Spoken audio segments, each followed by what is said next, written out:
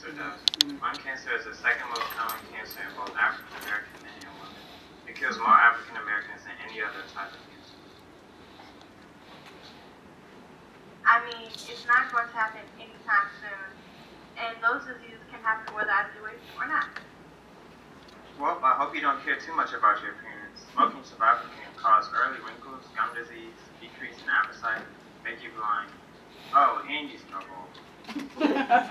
It's only going to be a one-time thing. Stop being so dramatic.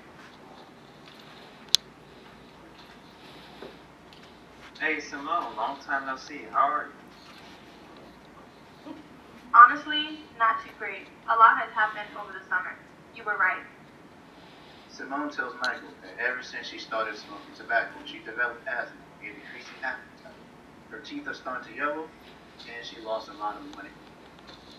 For more information about fighting tobacco addiction, go to the Maryland Health Department website or call this toll-free number.